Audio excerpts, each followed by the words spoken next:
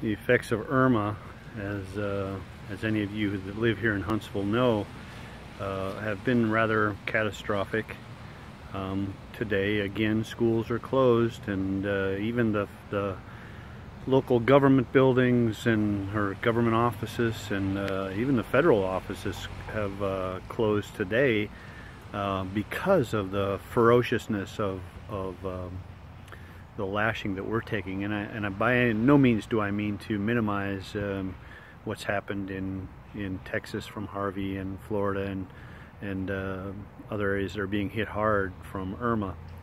But here in Huntsville, because you know we are the the center of everything that happens weather-wise, and so you know there was a hurricane, and we were projected to be in the path. So so we're glomming onto that and claiming it.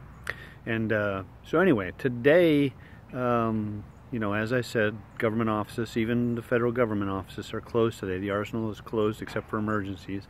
Um, but right now, the wind is blowing um, at a at a ferocious rate. Um, I'm not sure it can be measured, but it's blowing hard enough to blow thoughts out of my mind.